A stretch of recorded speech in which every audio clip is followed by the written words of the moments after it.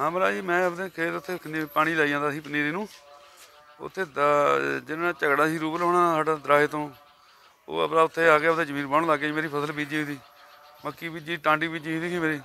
ਚਲ ਉਹ ਬਾਅਦ ਹੀ ਉਹਨਾਂ ਨੇ ਮੈਂ ਰੋਕਿਆ, ਉਹਨਾਂ ਨੂੰ ਵੀ ਨਾ, ਮੈਂ ਕਿਹਾ ਬੀਜੀ ਫਸਲਾਂ ਨਾ ਪਾਓ ਚਲ ਉੱਥੇ ਮੁੰਡੇ ਮੇਰੇ ਨਾਲ ਸੀਗਾ, ਮੈਂ ਇਹ ਜਿਹੜਾ ਕੰਮ ਕਰਦਾ ਹੈ ਇਹਨੇ ਉਹ ਮੂਵੀ ਬਣਾਉਣ ਲੱਗ ਗਿਆ। ਮੈਂ ਕਿਹਾ ਵੀ ਤੂੰ ਬਣਾ ਲਾ ਮੜਿਆ ਵੀ ਕ- ਅਫਸਰਾਂ ਨੂੰ, ਜਾਨੂੰ ਬਲਜਿੰਦਰ ਸਿੰਘ ਜੀ ਆ ਗਏ ਉੱਥੇ। ਤਾਂ ਇਹਨਾਂ ਨੂੰ ਮੈਂ ਕਿਹਾ ਮੈਂ ਕਿਹਾ ਮੇਰੀ ਪਨੀਰੀ ਬਾਉਣ ਤੋਂ ਰੋਕੋ ਉਹਨਾਂ ਨੂੰ। ਵੀ ਪਨੀਰੀ ਨਾ ਪਾਉਣ ਇਹ ਵੀ ਬਾਕੀ ਜਿਵੇਂ ਤੁਸੀਂ ਕੰਮ ਕਰਾਓਗੇ, ਅਸੀਂ ਬੈਠ ਕੇ ਕਰ ਲਵਾਂਗੇ ਆਪਦਾ। ਤੇ ਇਹ ਇਹਨਾਂ ਨੇ ਮੇਰੀ ਗੱਲ ਸੁਣੀ ਨਹੀਂ ਕੋਈ, ਆ ਕੇ ਮੇਰੇ ਨਾਲ ਹੱਥੋਂ ਪਾਈ ਹੋ ਗਏ, ਮੇਰੇ ਬਾਹਰ ਲਾ ਕੇ ਥੱਪੜ ਮਾਰ ਲਾ ਕੇ ਤੇ ਡੰਡਾ ਫੜਦਾ ਇਹਨਾਂ ਨੇ ਹੱਥੋਂ ਪਾਈ ਹੋ ਗਏ। ਉੱਥੇ ਮੈਨੂੰ ਆਪਦਾ ਮੇਰੇ ਬੱਚੇ ਦੇ ਮਾਰੀਆਂ ਨੇ ਡਾਂਗਾ ਡੂੰਗਾ। ਤੇ ਸਾਨੂੰ ਗੱਡੀ 'ਚ ਬਿਠਾ ਲਿਆ, ਥਾਣੇ ਲੈ ਗਏ। ਤੇ ਥਾਣੇ ਜਾ ਕੇ ਫੇਰ ਸਾਡਾ ਉੱਥੇ। ਉਹਨਾਂ ਨੇ ਸਾਡਾ ਬਹੁਤ ਮੈਂ ਤੁਹਾਨੂੰ ਪਹਿਲਾਂ ਹੀ ਦੱਸ ਚੁੱਕਿਆ ਹਾਂ, ਮੈਂ ਬਾਰ-ਬਾਰ ਚਾਹੁੰਦਾ ਨਹੀਂ ਹੈ ਵੀ ਆਪਾਂ ਇਹ ਚੀਜ਼ ਨੂੰ ਮੈਂ ਛਾੜੀ ਆਪਾਂ। ਬਹੁਤ ਸਾਡੇ ਨਾਲ ਇਹਨਾਂ ਨੇ ਉਹ ਮੇਰੇ ਕਕਾਰਾਂ ਦੀ ਬੇਅਦਬੀ ਕਰੀ ਬਹੁਤ ਜ਼ਿਆਦਾ।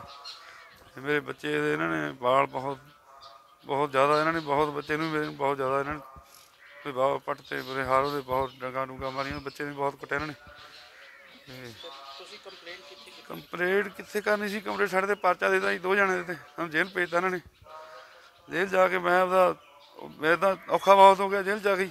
ਮੈਂ ਤਾਂ ਉੱਥੇ ਆਈ ਵੀ ਦਾਖਲ ਰਿਹਾ ਦੋ ਤਿੰਨ ਦਿਨ ਮੈਂ ਫੇਰ ਵੀ ਚਲੋ ਮੈਂ ਐਵੇਂ ਕੰਪਲੇਂਟ ਮੈਂ ਫੇਰ ਵੀ ਨਹੀਂ ਕਰੀ। ਮੈਂ ਚੱਲ ਅਫਸਰ ਨੇ ਹੈ ਜੀ? ਹੈ ਜੀ? ਥਾਣੇ ਕੀ ਕੀਤਾ ਤੁਹਾਡੇ ਨਾਲ ਜਾ ਕੇ ਪਹਿਲਾਂ? ਥਾਣੇ ਮੈਂ ਦੱਸ ਚੁੱਕਾ ਹੀ ਵਾਰ-ਵਾਰ ਹੁਣ ਚੰਗਾ ਮੈਂ ਹੁਣ ਤੈਨੂੰ ਕਿੱਦਾਂ ਵਾਰ-ਵਾਰ ਦੱਸਾਂ ਮੈਂ ਥਾਣੇ 'ਚ ਮੇਰੇ ਨਾਲ ਉਹ ਕੋ ਮੈਂ ਦੱਸਣਾ ਜੋ ਗੱਲੇ ਨਹੀਂ ਕੋਈ ਹੈ ਜੋ ਮੇਰੇ ਉਹ ਗੱਲ ਪਿੱਛੇ ਜਿਹੜੀ ਨਾ ਕਰੀ ਹੋਵੇ ਇਹਨਾਂ ਨੇ। ਸਾਰੇ ਸਾਡੇ ਕੱਪੜੇ ਲਹਾ ਲਏ ਨੇ ਸਾਡੇ ਮੇਰੇ ਕਕਾਰਾਂ ਦੀ ਬੇਅਦਬੀ ਕਰੀ ਆ ਬਹੁਤ ਜ਼ਿਆਦਾ। ਤੇ ਇਨਸਾਨ ਦੇਖੋ ਝਗੜਾ ਸੀਗਾ ਉਹ ਦਰਾਹੇ ਦੇ ਨੇ ਜੀ, ਰੂਪਲ ਸਿੰਘ ਹੁਣੀ ਕੋਈ, ਦਰਾਹੇ ਦੀ ਪਾਰਟੀ। ਹਾਂ ਪੋਲੀਟੀਕਲ ਵੀ ਇਹਨਾਂ ਨਾਲ ਕੋਈ ਰਿਸ਼ਤੇਦਾਰੀ ਵੀ ਹੈ ਕੋਈ, ਮਾੜਾ ਮੋਟਾ ਇਹਨਾਂ ਦਾ ਹੈਗਾ ਜੀ। ਮੈਨੂੰ ਪਹਿਲਾਂ ਨੇ ਫੋਨ ਕਰਿਆ ਸੀ, ਕਹਿੰਦਾ ਮੇਰੇ ਰਿਸ਼ਤੇਦਾਰ ਨੇ ਇਹ, ਬਲਜਿੰਦਰ ਸਿੰਘ ਨੇ। ਮੈਂ ਕਿਹਾ ਵੀ ਕੋਈ ਗੱਲ ਨਹੀਂ ਤੁਸੀਂ ਬੈਠ ਕੇ ਸਾਡਾ ਕਰਾ ਦਿਓ ਰਿਸ਼ਤੇਦਾਰ ਆ। ਮੈਂ ਸਾਡਾ ਬਿਠਾ ਕੇ ਮੁਕਾ ਦਿਓ ਉਹਨਾਂ ਨਾਲ। ਤੇ ਕਹਿੰਦਾ ਸੀ, ਮੈਂ ਕੋਈ ਨਹੀਂ ਕਰਾਂ। ਮੈਂ ਬੁਲਾਇਆ ਵੀ ਸੀ ਇੱਕ ਦਿਨ ਉਦੋਂ ਫਿਰ ਕਿਸੇ ਗੱਲ ਤੇ, ਮੈਂ ਤਾਂ ਕਿਸੇ ਗੱਲ ਤੋਂ ਭੱਜਿਆ ਨਹੀਂ ਉਹਨਾਂ ਤੋਂ। ਬੰ- ਇਹ ਗੱਲ ਤਾਂ ਹੈ ਨਹੀਂ ਐਡਾ ਤਾਂ ਕੋਈ ਮਸਲਾ ਨਹੀਂ ਸੀ ਜਿਹੜਾ ਵੀ ਇੱਥੇ ਸਾਡੇ ਨਾਲ ਜਿਹੜਾ ਉਹਨਾਂ ਨੇ ਕਰਿਆ ਵੀ ਉਹ ਉਹ ਤਾਂ ਕੋਈ ਗੱਲ ਹੀ ਨਹੀਂ ਸੀਗੀ। ਜ਼ਮੀਨਾਂ ਦੇ ਤਾਂ ਲੱਖਾਂ ਮਸਲੇ ਨੇ ਹਜ਼ਾਰਾਂ ਮਸਲੇ ਨੇ। ਇਹ ਇਦਾਂ ਥੋੜੀ ਹੁੰਦਾ ਵੀ ਸੱਦ ਕੇ ਕਿਸੇ ਬੰਦੇ ਨਾਲ ਇਦਾਂ ਅਗਲੇ ਦੀ ਕਿਸੇ ਦੀ ਮਤਲਬ ਕਿ ਬੇਪ੍ਰਤੀਤੀ ਕਰੇ ਬੰਦਾ ਬੱਚੇ ਦੇ ਨਾਲ ਬੰਦਾ। 100 ਵਾਰ ਇਨਸਾਨ ਤਾਂ 100 ਵਾਰ ਸੋਚੂਗਾ ਇਹ ਜਿਹਾ ਕੋਈ ਕਰਨ ਤੋਂ ਪਹਿਲਾਂ ਜੋ ਕਰਿਆ। ਤੁਸੀਂ ਕਿੱਥੇ ਕਿੱਥੇ ਕੰਪਲੇਂਟ ਕੀਤੀ ਹੈ ਕੰਪਲੇਂਟ ਮੈਂ ਕਿੱਥੇ ਕਰਨੀ ਸੀ? ਮੇਰੇ ਤਾਂ ਪਰਚਾ ਕੱਟ ਕੇ ਜੇਲ੍ਹ ਭੇਜਤਾ ਜੀ ਇਹਨਾਂ ਨੇ। ਮੈਂ ਕਿਹਦੇ ਕੋਲ ਜਾਣਾ ਸੀਗਾ ਪ੍ਰਸ਼ਾਦ। ਹੁਣ ਕੋਈ ਜਿਹੜੀ ਕੰਪਲੇਂਟ ਕੀਤੀ ਹੋਈ ਹੈ? ਇਹ ਜਦੋਂ ਹੁਣ ਇਹਦਾ ਤਾਂ ਅਸੀਂ ਹਜੇ ਵੀ ਨਹੀਂ ਅਸੀਂ ਕੰਪਲੇਂਟ ਕੀਤੀ ਸੀ ਪਹਿਲਾਂ। ਇਹ ਤਾਂ ਜਦੋਂ ਸਾਡਾ ਹੁਣ ਇਹਨਾਂ ਨੇ ਵੀਡੀਓ ਜਿਹੜੀ ਹੈਗੀ ਹੈ ਸਾਡੇ ਮੇਰੇ ਵਕੀਲ ਸਾਹਿਬ ਨੂੰ ਪਾਈ ਆ ਕਿਸੇ ਨੇ। ਉਹਨਾਂ ਨੇ ਮੈਨੂੰ ਸੱਦ ਕੇ ਦਿਖਾਇਆ ਤੇ ਮੈਂ ਕਿਹਾ ਵੀ ਇਹ ਕਿ ਮੈਂ ਤਾਂ ਪਤਾ ਹੀ ਨਹੀਂ ਸੀਗਾ। ਬਣਾਈ ਤਾਂ ਸਾਡੇ ਸਾਹਮਣੇ ਹੀ ਆ ਇਹਨਾਂ ਨੇ। ਮੈਂ ਕਿਹਾ ਚੱਲ ਕਿਤੇ ਸਾਨੂੰ ਉਦਾਂ ਡਰਾਉਂਦੇ ਆ ਵੀ ਚੱਲ ਵੀ ਕਹਿੰਦੇ ਸੀ, ਕਹਿੰਦੇ ਪਾਓ ਇਹਨਾਂ ਦੀ ਨੈਟ ਤੇ ਪਾਓ, ਫਲਾਣਾ ਕਰੋ, ਧਮਕਾ ਕਰੋ। ਉੱਥੇ ਬੋਲਦੇ ਸੀਗੇ ਤੇ ਜਦੋਂ ਬਣਾਉਂਦੇ ਸੀਗੇ। ਤੇ ਮੈਂ ਕਿਹਾ ਵੀ ਚੱਲ ਕਿਤੇ ਉਦਾਂ ਹੀ ਡਰਾਉਂਦੇ ਡਰਾਉਂਦੇ ਆ। ਮੈਨੂੰ ਪਤਾ ਨਹੀਂ ਸੀ ਵੀ ਇਹ ਇਹਨਾਂ ਨੇ ਆਪਦਾ ਬਣਾ ਕੇ ਕਿੱਦਾਂ ਬੈਲ ਕਰ ਦੇਣੀ ਹੈ ਇਹਦਾ ਮੈਨੂੰ ਕੀ ਸਾਹਿਬ ਨੇ ਦਿਖਾਇਆ ਜਦੋਂ ਵੀ ਤਾਂ ਫਿਰ ਦੇਖੋ, ਜੇ ਤਾਂ ਹੁਣ ਅਸੀਂ ਪ੍ਰਸ਼ਾਸਨ ਕੋ ਅਸੀਂ ਜਾਈਏ ਕਿੱਥੇ ਜਾਈਏ ਤਾਂ ਜਾਈਏ ਕਿੱਥੇ ਸਾਨੂੰ ਪਤਾ ਲੱਗੇ ਵੀ ਅਸੀਂ ਕਿਹਦੇ ਕੋਲ ਜਾਈਏ। ਤੇ ਹੁਣ ਤੁਸੀਂ ਕੀ ਮੰਗ ਕਰਦੇ? ਮੈਂ ਤਾਂ ਹੁਣ ਜੀ ਮੈਂ ਜਦੋਂ ਇਹ ਵਕੀਲ ਸਾਹਿਬ ਨੂੰ ਕਰਿਆ ਮੈਂ ਉਹਦੇ ਕਰਕੇ ਆਈ ਸਾਹਿਬ ਦੇ ਪੇਸ਼ ਹੋਇਆ ਜੀ। ਤੇ ਮੈਂ ਬੇਨਤੀ ਕਰਦਾ ਸਰਕਾਰ ਨੂੰ ਵੀ ਸਾਡੇ ਸੀਐਮ ਸਾਹਿਬ ਨੂੰ ਵੀ ਸਾਰੇ ਮੈਂ ਤਾਂ ਇਹ ਕਹਿੰਦਾ ਵੀ ਸਭ ਮੇਰੇ ਨਾਲ ਇਨਸਾਫ ਹੋਣਾ ਚਾਹੀਦਾ। ਦੇਖੋ ਦੁਨੀਆ ਤੇ ਜੇ ਇਦਾਂ ਤੁਸੀਂ ਇਦਾਂ ਹੋਣ ਲੱਗ ਗਿਆ ਗੁਰਸਿੱਖ ਬੰਦੇ ਨਾਲ ਮੈਂ ਚਾਹੁੰਦਾ ਨਹੀਂ ਮੈਂ ਬਾਰ-ਬਾਰ ਮੈਂ ਇਹ ਚੀਜ਼ ਨੂੰ ਮੂਹਰੇ ਨਹੀਂ ਰੱਖਣਾ ਚਾਹੁੰਦਾ ਹੈਗਾ।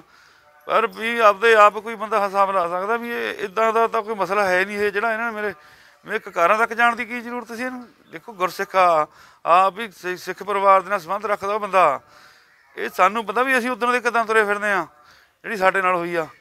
ਇਹ ਸਾਨੂੰ ਸਾਡਾ ਅੰਦਰ ਪੁੱਛ ਕੇ ਦੇਖਿਆ ਵੀ ਅਸੀਂ ਕਿਦਾਂ ਤੁਰੇ ਤੁਰੇ ਫਿਰਦੇ ਆ ਉਦੋਂ ਦੇ।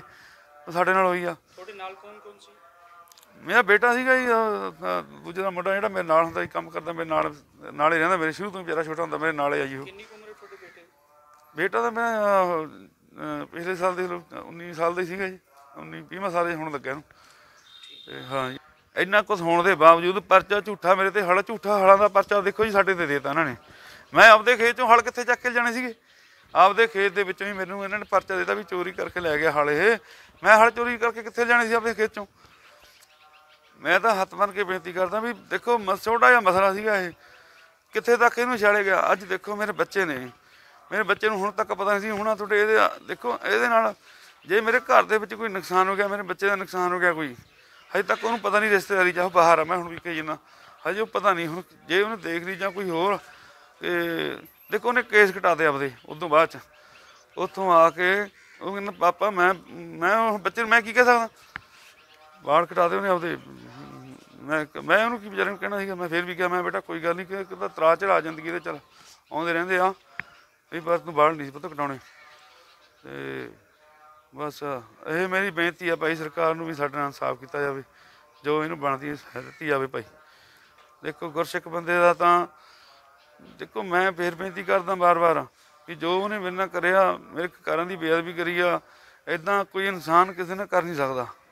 ਜਿਹੜਾ ਇਨਸਾਨ ਹੋਊ, ਉਹ ਕਦੇ ਵੀ ਨਹੀਂ ਕਰਦਾ। ਜਿਹੜਾ ਜਾਗਦਾ, ਉਹ- ਜਿਹੜਾ ਜ਼ਮੀਰ ਦਾ ਜਾਗਦਾ ਇਨਸਾਨ ਆ, ਉਹ ਕਦੇ ਵੀ ਇਦਾਂ ਦਾ ਕੋਈ ਇਹਦੀ ਘੜੌਲੀ ਹਰਕਤ ਨਹੀਂ ਕਰਦਾ ਜੋ ਉਹਨੇ ਮੇਰੇ ਨਾਲ ਕਰੀ ਆ।